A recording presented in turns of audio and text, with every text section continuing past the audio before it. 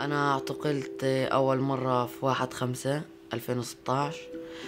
إجت وحدة من المخابرات. الساعة أربعة الفجر خربوا الدار داروا كل الخزاين على الأرض وكل الأواعي.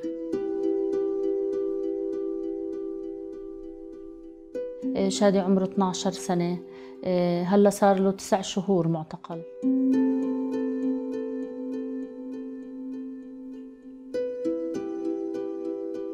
عمري 17 أنا اعتقلت ثلاث مرات.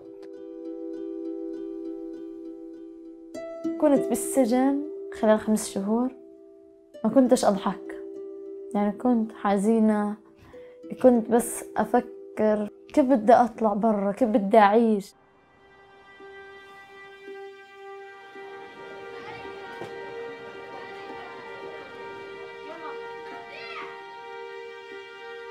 أحد آليات استهداف الاحتلال لمدينة القدس هو عن طريق اعتقال الأطفال. طبعا هذا هذا الاعتقال بيستهدف الأطفال في جميع فئات أعمارهم.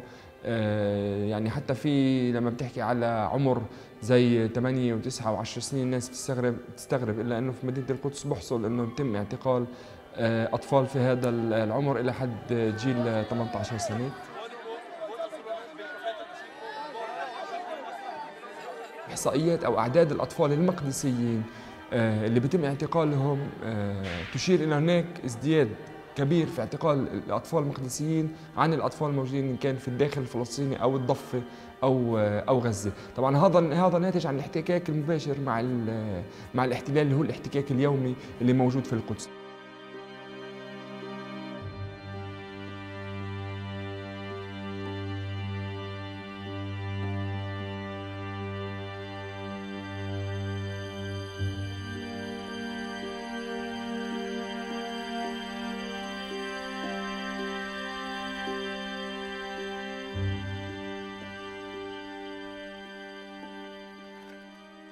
فأنا مروح من عند ابن عمي إيه، إجت سيارة بيضة كبيرة. فبعرفش أنا شو اللي فيه فما بلاقيهم إلا بفتح الأبواب وكلهم ملتمين وهجم علي واحد ونط نط فيه جبل جبل عليه مترين. فهلأ يوم ما هو نط في أنا وقعت على إيدي. هو وقعني على إيدي وكان مسك لإيدي فإيدي من وزنه وخبطت في حجار فانكسرت من المفصل. المفصل انفك الكف انفك عن المفصل وصار في كسر في المفصل. طبعا شادي كان مروح من المدرسة لما اعتقلوه. كان هو زميله أحمد الزعتري. اعتقلوه من شارع رقم واحد. كان هو واقف بأشر لسيارة بده يروح. إيه، طبعا التهمة كانت اللي هي حيازة سكين ومحاولة طعن. طبعا ما في لحيازة آه، سكين كان مع شادي ولا اللي هي ادعائهم بمحاولة طعن أو محاولة جرح. شادي أنا حسب ما يعني حسب كل المعطيات اللي كانت بالمحكمة واللي قدموها هن إنه ما كان في شهود إنه حدا طب محاولة قتل قتل مين؟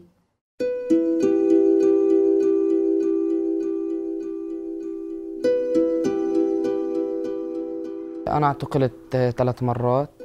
تعرضت لضغط كبير فيهم كل يوم تحقيق من الصبح لليل.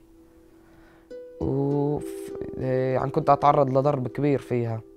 فضغطوني كثير فيها إنه حطوني على الأرض صاروا يخبطوا على وجهي. التحقيق كان كله وأنا مكلبش محزوقة على الآخر. ما فيش أكل من الصبح لليل. دخلوا علي ثلاث محققين. صاروا يضربوا فيي على وجهي وعلى ظهري.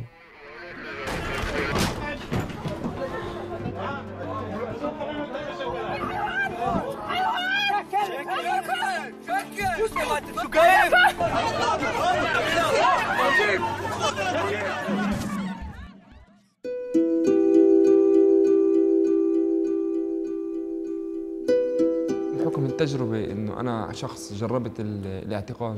فلما بروح بوثق كل طفل يعني بكون بكون فاهم هو شو اللي عاشه شو اللحظات الصعبة. لما يحكي لي مثلا أنا انتقلت من من سجن مثلا الشارون مثلا على سجن مجده بدلك قديش هذا الطفل تغلب وتعذب قديش ممكن يكون صعب عليه وخاصة إنه المعاملة هي نفس معاملة الأسرة البالغين. يعني إن كان من ناحية التقييد من ناحية اللبس اللباس البني من ناحية مثلا إنه ممكن الأسير يطلع أربع خمس أيام هذا الطفل أربع خمس أيام اللي بسموها البوسطة عشان يوصل لل... لل... للمحكمة تبعته.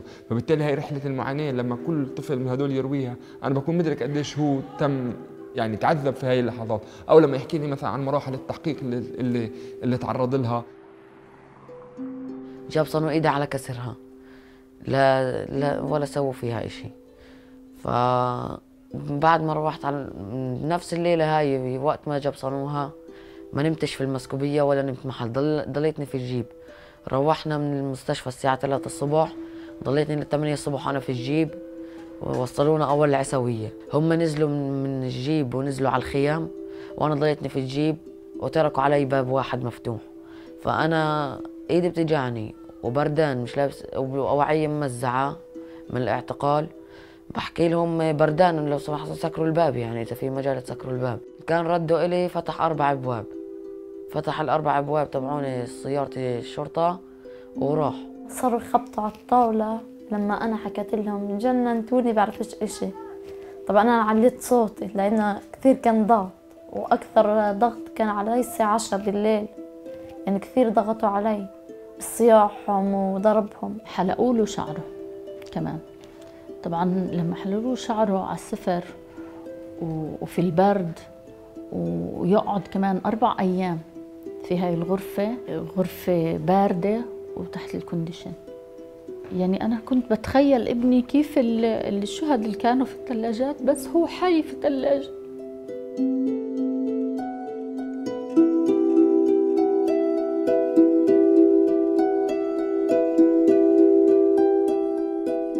فترة التحقيق إن كانت مع الأطفال إيه بصير في يعني حالة انغلاق على الطفل. أول شغلة بجو من إيش إيش بحب؟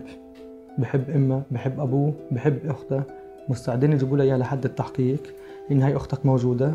إذا الطفل فيش عنده إشي مضطر إنه يحكي آه تعرف إحنا على مجتمع شرقي موضوع الشرف بيجيبوا أخته لحدها. إن هي أختك بوروا من دون من دون علمها. إن هي أختك طبعا أختها تبقى رايحة مش عارفة ليش رايحة. باعتبار انه آه أختك إجت حكت صحيح إنك أنت واحد اثنين ثلاث.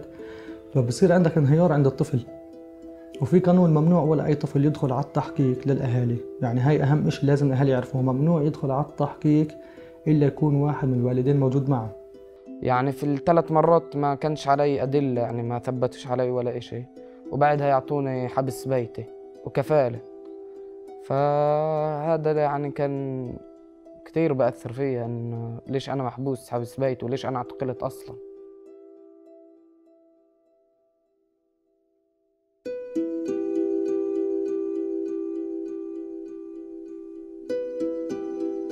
كأن حكم الحبس المنزلي في بيت حنينة عشر أيام. بس هم عشر أيام أنت بتسمعهم كتير إنهم قلال مش كتار. بس كانوا يمرقوا علي إنهم كتار بعيد عن أمي عن أبوي عن بيتي عن حياتي اليومية اللي كنت أمارسها هون في العسوية. الأطفال المقدسيين بيتعاملوا معهم بالمحكمة المدنية يحاكموا. الأطفال الغير مقدسيين أو اللي يحملوا هوية ضفة مثلا آه، يحاكموا بمحكمة عسكرية. والمحكمة العسكرية ما في ممنوع إنه طفل ينسجن بعمر 12 سنة فبحاولوا يعطوه شهر أو شهرين ويروحوه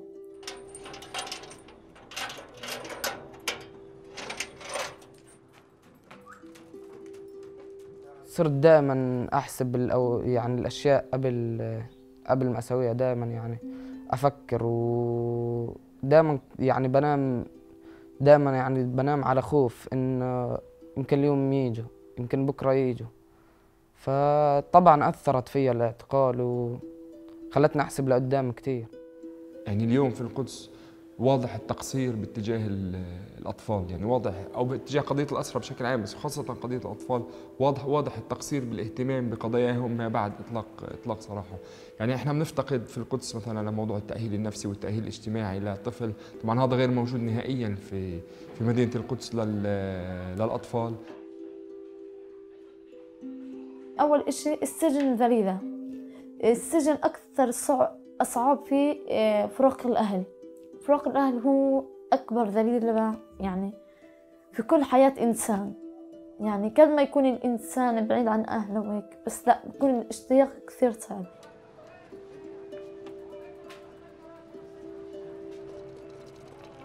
وأنا بحسش حالي بطل إني أعتقلت يعني فإذا الكل بده يقيسها على حالة بطل فكل الفلسطينية أبطال هيك بدهم يصفوا.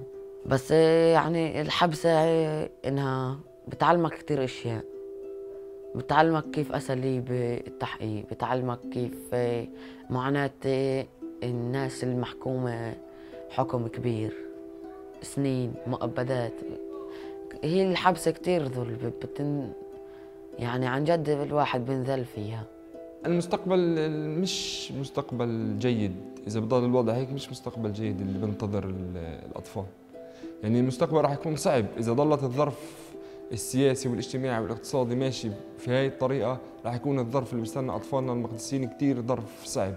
أنا بوجه لك كلمة لكل أمهات العالم في, في كل مكان. إنه بس يكونوا هم يحطوا حالهم لحظة أو ليلة مكاني ليلة واحدة يكون ابنها بعيد عنها منتزع من حضنها انتزاع وظلم. كيف بكون شعور أي أم؟ إنه ابني اللي كان كل يوم يصحى الصبح قبل المدرسة يجي يحضني. إنه هاي اللحظة ما ببيعها أنا في كل في كل الدنيا. أنا ابني أغلى ما أملك. الوطن والأرض هي لله.